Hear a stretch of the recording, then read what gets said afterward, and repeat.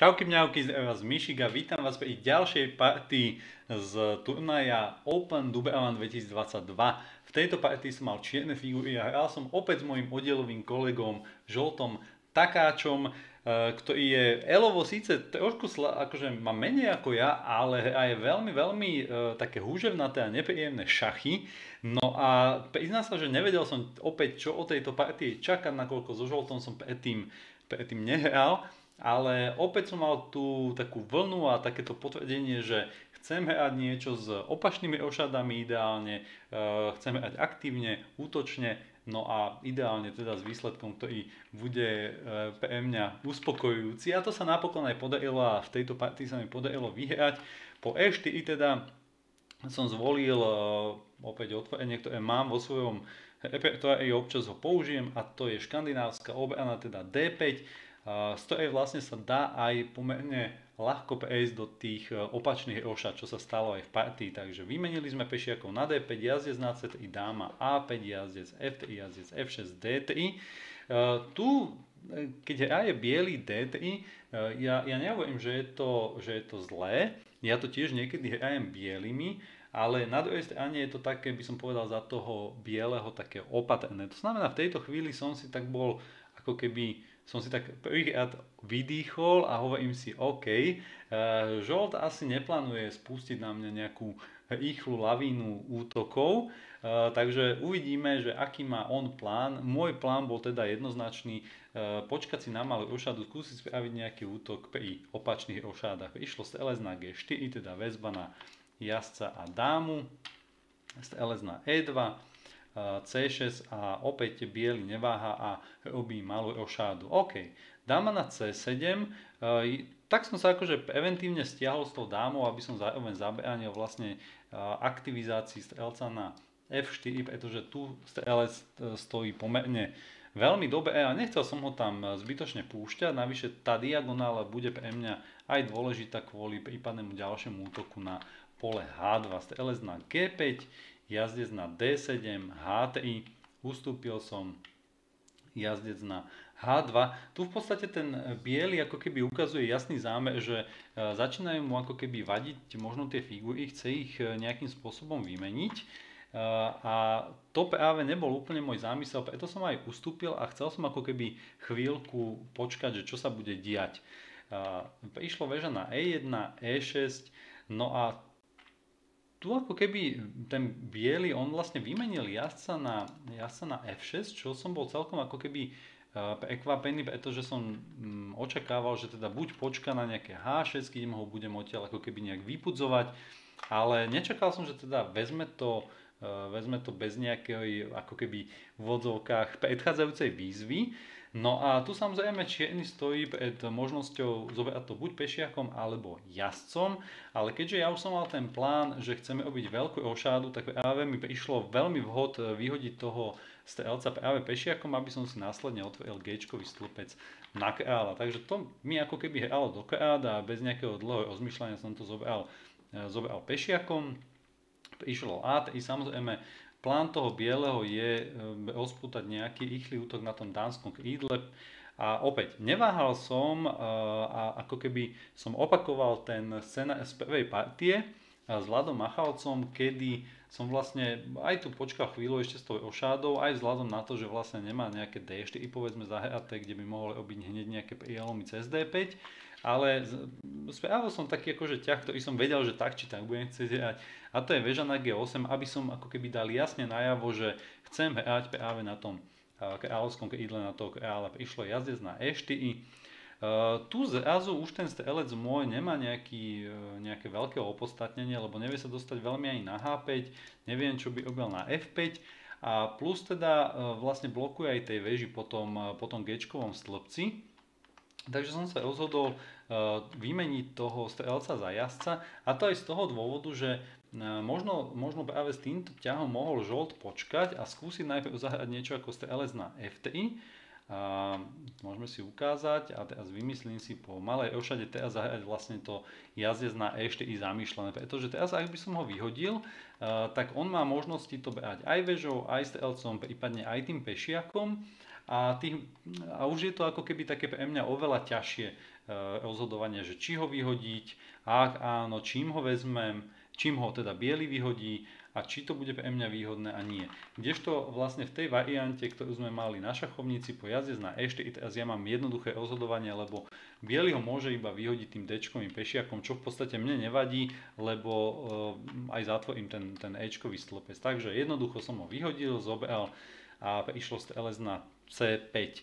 Využívam to, že biely vlastne už nemá svojho čiernopolného strelca a opäť odkladám tú ošádu, aj keď v tejto chvíli možno mm, teda sa to javí, že by tá ošáda mohla byť fajn, ja som ju teda aj zvažoval, už len kvôli tomu môžeme si ukázať, že profilakticky vlastne tá väža hneď ohrozuje dámu po nejakom odskoku jazdca.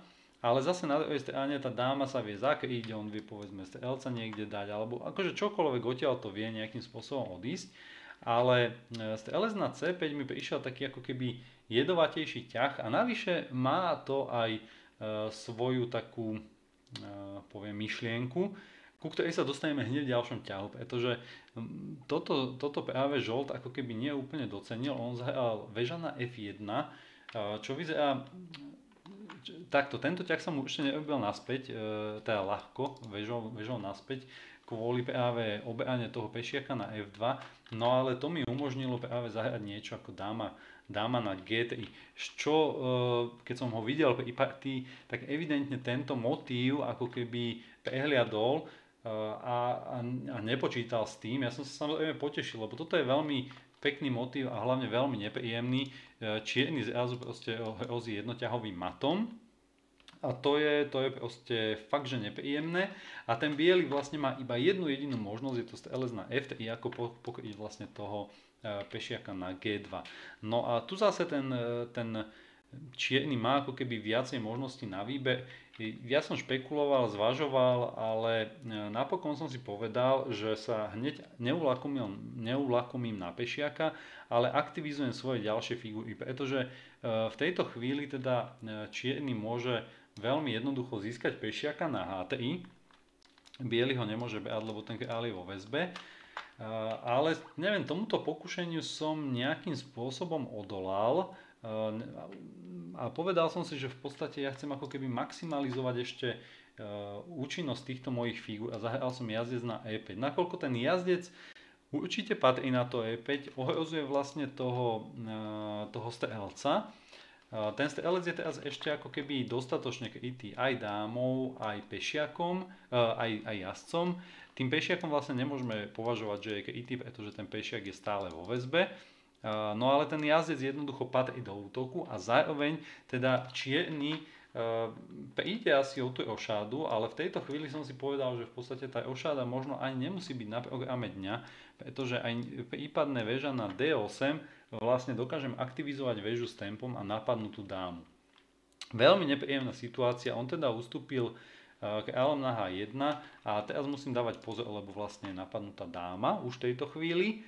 E, už ten pešiak môže ako keby sa hýbať, lebo odišiel z tejto druhej väzby.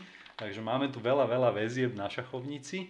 No ale tak to už je vlastne ako keby pešiak v úvodzovkách zadarmo, ktorého som si zobral. Teda nezobral som toho na H3, ale toho na F2. E, takže vyhodený pešiak, išlo dáma na E2. Samozrejme snaží sa tie moje figúry odtiaľ vytlačiť. OK, strelec sa stiahol na B6. No a v podstate e, celé som, celú tú partiu som v tejto chvíli postavil práve na tomto e, čiernopolnom strelcovi. A to aj vďaka tomu, že vlastne ten biely sa ho ako keby vzdal na začiatku a tie čierne polia zrazu mu budú e, rozhodujúco chýbať. Keď sa, keď sa pozrieme na tú šachovnicu, tak vlastne vidíme, že ten, že ten biely, pardon, že ten čierny má alebo sa vie dostať práve do toho tábora bieleho cez tie čierne polia a práve vďaka tomu, že bielemu chýba ten, e, ten čiernopolný strelec, tak bude mať s týmto, e, s týmto obrovský, obrovské ťažkosti. Dokonca ešte aj, to, že, ešte aj ten fakt, že čierny má jazdca, tak s ním dokáže napríklad takto na nejaké čierne polia priskákať a, a robiť tu jednoducho nejaké komplikácie. OK, dáma na E1. Samozrejme, že ten biely chce meniť dámy, čo, čo čierny nedopustí, takže dáma na G5. Všimnite si, áno, snažím sa držať na tých čiernych poliach z jednoduchého dôvodu, Mm, jednak teda sme si povedali, že čierne polia sú tie, ktoré považujem za silnejšie, takže ich, nechcem stratiť nejakú ich kontrolu. A zároveň biely má bielopolného strelca a ten, pokiaľ ja budem mať figúry na čiernych poliach, tak viem, že ma nejakým spôsobom nedokáže ohroziť. Išlo dáma na E2, strelec na C7. Snažím sa teda toho strelca dostať vlastne na druhú diagonálu a prípadne na H2 pohroziť nejakým, e, nejakým hop, e, nejakým matom, či už cez F4 alebo cez G3, ak tam dám dámu. Opäť e, nič konkrétne, ale veľmi, veľmi nepríjemné hrozby, ktoré musí ten biely riešiť. Išlo G4, čo teda ma celkom prekvapilo, ale chápem tomu, že ten biely ako keby už nevedel ustať úplne možno ten, ten tlak, ktorý sa tu nejakým spôsobom isoval, pretože vlastne dáva to možnosť tomu čiernemu vlastne otvoriť e, cestu k tomu bielemu kráľovi, či, či už cez H5 alebo cez F5. Dobre, teraz som sa rozhodol teda spraviť ošádu veľkú a jednoducho z dvoch dôvodov. Jednak teda toho kráľa dať mimo, zároveň spojiť veže, pretože nevedel som ešte, či budem útočiť potom G stĺpci alebo možno potom otvorenom D stĺpci. Každopádne po, po veľkej ošáde mám jednoduchý plán, že väža plánuje ísť rovno na D2 a vlastne e, po tej druhej linke alebo druhom rade toho bieleho úplne, úplne odrovna. Takže e, veľká ošáda je nielen ako keby dokončenie vývinu, ale zároveň je to veľmi nepríjemný útočný útočný ťah. No a tu som musel počítať, čo sa aj stalo v partii, že biely samozrejme bude sa snažiť tie veže vymeniť a eliminovať, ale tu už som to tak nejak ako keby vyhodnotil, že toto by malo byť pre mňa OK. Veža, veža zobrala na D1, veža zobrala na D1, dáma na F4, takže vidíme opäť motív čiernych polí a, a nejakých prípadných matov. Takisto vlastne ten jazdec e, útočí na strelca na F3. E, veľmi, veľmi tá nepríjemná situácia, prišlo veža na F1, musí to nejakým spôsobom kryť jazdec na G6, teda možný nejaký presun, či už cez F4, či už cez H4 do tej pozície bieleho, väža na F2. No a tu samozrejme ten biely pod tlakom uh, spravil chybu. Zrejme bolo lepšie nejaké vyčkávajúce, uh, vyčkávajúce No, teraz, teraz vlastne dobrá otázka, že čo bolo lepšie vyčkávajúce. Možno dáma na G2 uh, bolo, bolo také akože lepšie, aj keď neviem, či by tam neprišlo nejaké H5, ale teda dalo sa s týmto ešte nejak pracovať. Ale po veža na F2, eh, on samozrejme sa snažil ako keby zabezpečiť aj toho jazdca na H2, eh, kde hrozí v podstate mat, lebo ak by od, od, odskočila dáma, tak dáma vlastne je toho jazdca, no a tu máme batériu a tá je, to je hneď vlastne jednoťahový mat.